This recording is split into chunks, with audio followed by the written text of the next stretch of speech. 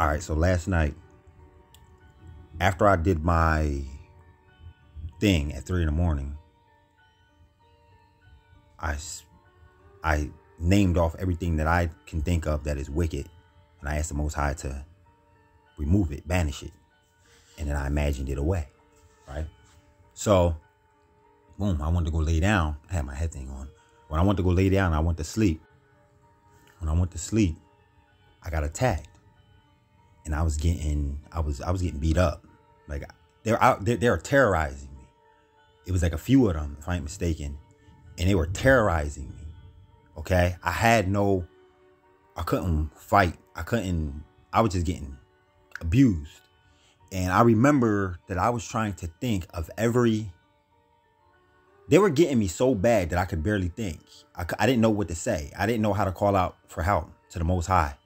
I was stuttering. I, I, I didn't know what to say. I was thinking, I, I, I was thinking of every little thing that I could say for help. I, I even said, I said, get behind me, Satan. And they laughed at me. The demons laughed at me. I said, get behind me, Satan. And they laughed at me. I said, Father, save me. Father, help me.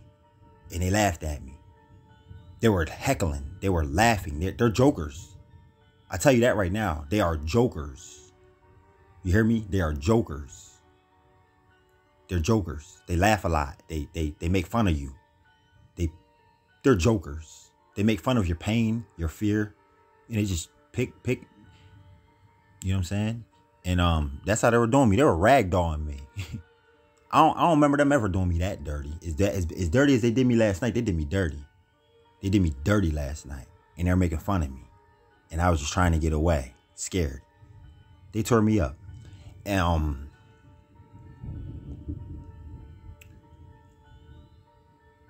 they they told me something. The demon. It said it said this word. It said preeminence. That's what it said to me. It said preeminence. And when I kind of woke up a little bit, I remembered the word preeminence, preeminence. But I was I was like comatose. I couldn't get up and go write it down or even go look it up. But it was it was like instilled in my mind. I knew I wouldn't forget it. So preeminence, it was there. Um another word Okay, well, I'll put it like this. Once I got finished with these demons, I did wind up dealing with like some angels. You know what I mean? I don't know if they was testing me or what, but I wound up in different, I wound up in a dream, which I don't really want to talk about it, but I did wind up in a dream. Um, I don't want to talk about it because I don't really understand it. Anyway, I don't want to talk about it. I wound up in another place away from these demons, as far as I know. And the, the, the spirit told me this name, and it started with an M. And I was I was saying the name. I kept repeating the name. I wanted to write it down, but I was sleeping. You feel me? Um, I was guessing. What does I didn't know. What does this mean? What does this name mean? The spirit told me that this name means the son of a father who, who was or is obedient. The son of a obedient father. Okay, I went into a dream. And don't leave out, don't forget preeminence. Don't forget, because we're gonna go back to that. But anyway, I had the dream. I'll tell you because I had two dreams. Well, all right, listen, I had a dream. And in the dream, I was living inside of a, I had a girlfriend, and we moved inside of a home, a beautiful home. But my name wasn't on nothing. It was her home, but it was ours, but it was hers because she was the one. She was the one getting money and everything. So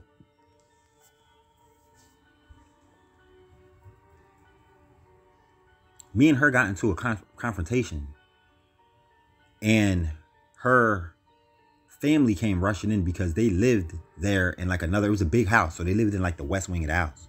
We stayed in like the east. So they came in and they started her her cousins and brothers and they started rushing me. Um because they didn't like the tone of voice that I was using. And we got we got into a confrontation, a scuffle. But I was right. The spirit was letting me know that I was right all along. But I guess this is just something that I had to endure.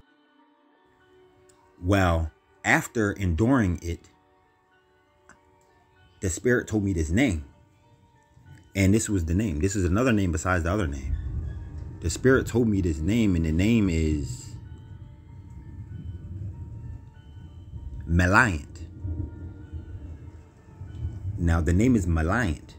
And I seen how it was spelled because they spelled it for me. It's M-A-I-L-I-A-N-T. Maliant.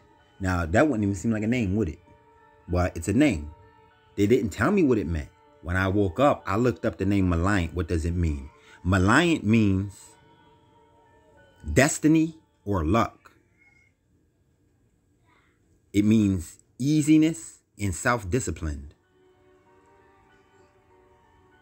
So, like a disciple, somebody who is a disciple of the Most High, you would probably expect for them to have this name, Maliant. All right.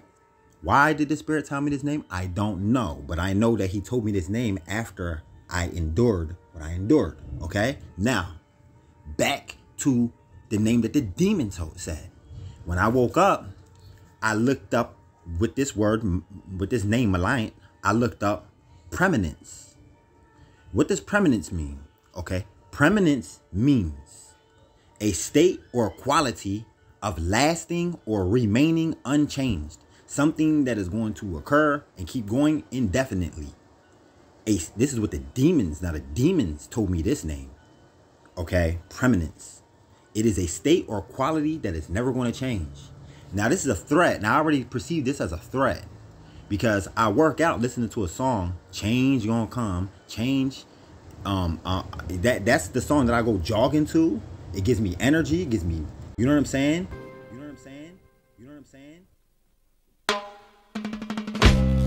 One of these days, things gonna change.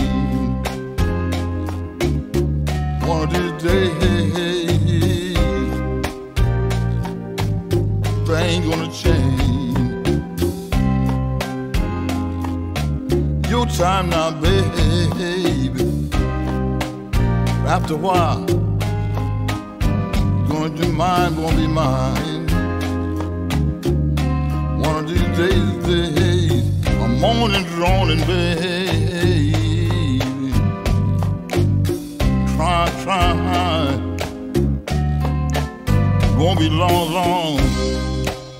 Thing gonna change.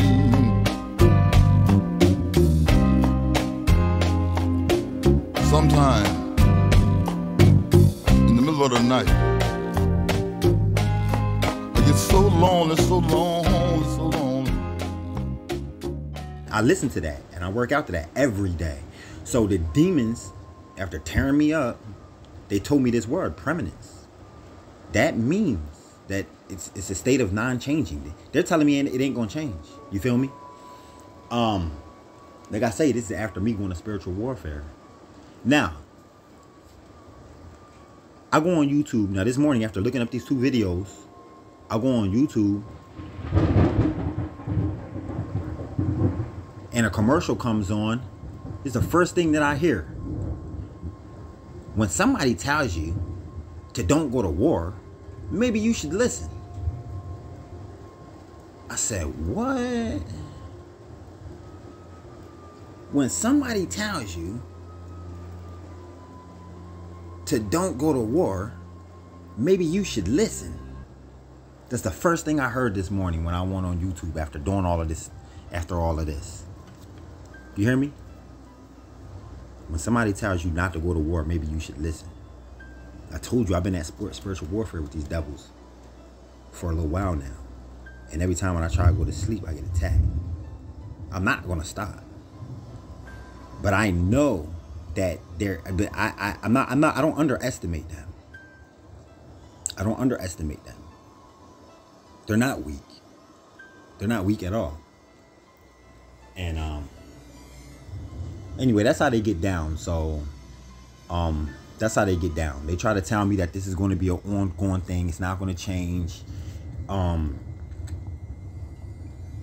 I tell you right now that if you ever die and go to hell, these demons are like um, human-like. They have sick sense of humors. They have they have a nasty. Have, they have like um, they're jokey, immature. I tell you right now, I know their personality. They're immature. they joke, they laugh, they they have no heart. They're just like people that they're just like some of these niggas that you may know. You know what I mean? You trip and fall, somebody's busting out laughing instead of coming over to see, are you okay? You know what I'm saying?